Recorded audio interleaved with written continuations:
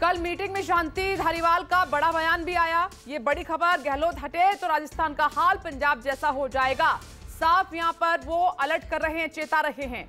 कल मीटिंग में शांति धारीवाल ने ये बड़ा बयान दिया था, यानी कि कुल मिलाकर इस बयान का ये मतलब है कि अशोक गहलोत को राजस्थान का सीएम पद नहीं छोड़ना चाहिए। खर्च नहीं कर सकता था, उसको दस लाख रुपए का जो है बीमा तो उसकी दवाइयाँ जो है प्राइवेट हॉस्पिटल में में भी जो है वो खर्च सरकार कर रही है। इतनी बड़ी बड़ी योजनाओं का अगर फ़ायदा किसी आदमी को मिल सकता है तो सिर्फ़ अशोक गहलोत को मिल सकता है। अगर इस कुर्सी को बदल दिया गया अशोक गहलोत को बदल दिया गया तो आने वाला आदमी जो भी इस पे बैठेगा उसको इतना बड़ा फ़ायदा नहीं मिलेगा और कांग्रेस को नुकसान होगा।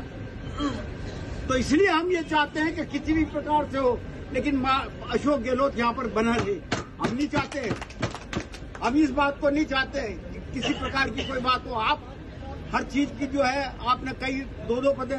आज ये बता दे कोई कोई भी हाईकमान में बैठा हुआ आदमी ये बता दे कि कौन से दो पदे आज अशोक गहलोत के पास जो आप जो है उनका इस्तीफा मांग रहे हो? नहीं है कोई भी नहीं। कौन से दो पद? हैं एक ही पता कुल मिला के एक पद है मुख्यमंत्री का। जब दूसरा पद मिल जाए तब जाकर के बात उठेगी। आज क्या बात उठ गई जो आज आज आज आप इस्तीफा मांगने के लिए तैयार हो रहे हो? तो ये सारा षड्यंत्र जो है, जिस जिस षड्यंत्र ने पंजाब पंजाब खोया, वो राजस्थान भी खोने जा रहा है। नमस्कार, मैं हूँ मानक गुप्ता। अगर आपको हमारा ये वीडियो पसंद आया हो तो इसे लाइक और शेयर ज़रूर करें। और हाँ, हमें सब्सक्राइब और फॉलो करना ना भूलें, ताकि आप देश और दुनिया की कोई खबर मिस ना करें।